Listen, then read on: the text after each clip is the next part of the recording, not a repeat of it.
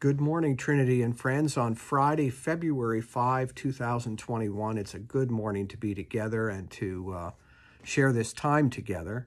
February is the month when we move from one church season to the next. Um, we've been in the season of Epiphany, celebrating the light of Christ. I saw or I read a good uh, something good from Dr. Martin Luther King Jr. Uh, about light and darkness. He said, Darkness cannot drive out darkness. Only light can do that.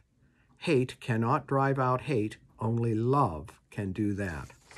That's been the spirit of our celebration of Epiphany throughout the month of January and into February. It is the light of Christ that brings us along together on a very special journey of following Jesus.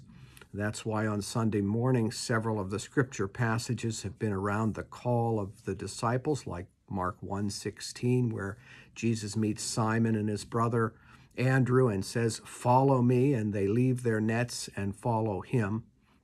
That's the journey of Christ that, with Christ that we are on. And this month it moves into a symbolic journey. Lent, uh, beginning with Ash Wednesday, on the 17th of February. And uh, during the, that period of Lent, when we celebrate the journey of our faith, on Wednesdays at noon, we're going to have a Zoom study of the Lord's Prayer. Seems like a really good thing to be doing.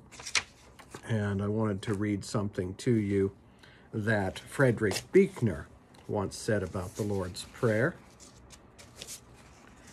He said, Thy will be done, is what we are saying. That is the climax of the first half of the prayer. We're asking God to be God. We're asking God to do what, not what we want, but what God wants. You need to be bold in another way to speak the second half.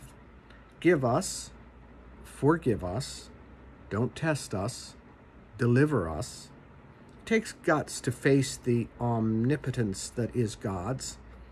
It takes perhaps no less to face the impotence that is ours. We can do nothing without God. Without God, we are nothing.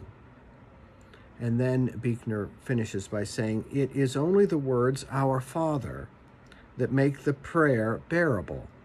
If God is indeed something like a father, then as something like children, maybe we can risk approaching God anyway. That's what we do all during this upcoming season of Lent. We're on a journey of approaching God because God has first welcomed and approached us in the love of Christ. It does um, have something to do with friendship uh, the friendship of God extended to all people through sacrificial love. And I thought I'd end by saying something about friendship, uh, both divine and between us, between people. This is written by T.S. Eliot.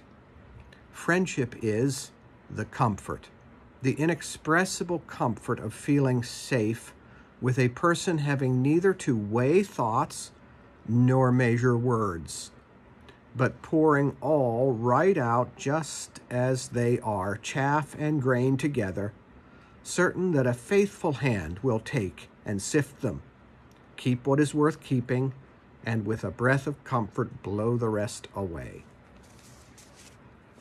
It is that sense of invitation that comes from God through Jesus, and it's that sense of prayer that we open up with God and that type of relationship we are invited to have with each other that makes all the difference in the world. Let us pray. Dear Lord, we thank you that you have thrown open the gates of grace and heaven, that you've done it through the sacrificial love of Jesus. Help us to move toward you and receive that type of relationship, which renews our life at its most profound levels, and help us to be on the journey together, a journey of following and responding and being all that you call us to be for the sake of a hurting world. And we're mindful of that world as we pray for those suffering with COVID 19. We are so thankful for the vaccine making its way. We pray this all over the world. Continue, Lord, to be with be with our people who are making it possible, as well as our first responders and all those who serve on our behalf. We pray for our government leaders, for all to see and to respond to the light that you show us every day. And hear us as we pray that prayer of invitation. Our Father, who art in heaven, hallowed be thy name. Thy kingdom come, thy will be done, on earth as it is in heaven. Give us this day our daily bread, and forgive us our debts as we forgive our debtors. And lead us not into temptation, but deliver us from evil. For thine is the kingdom and the power and the glory forever. Amen. Take good care and have a, a good day and weekend.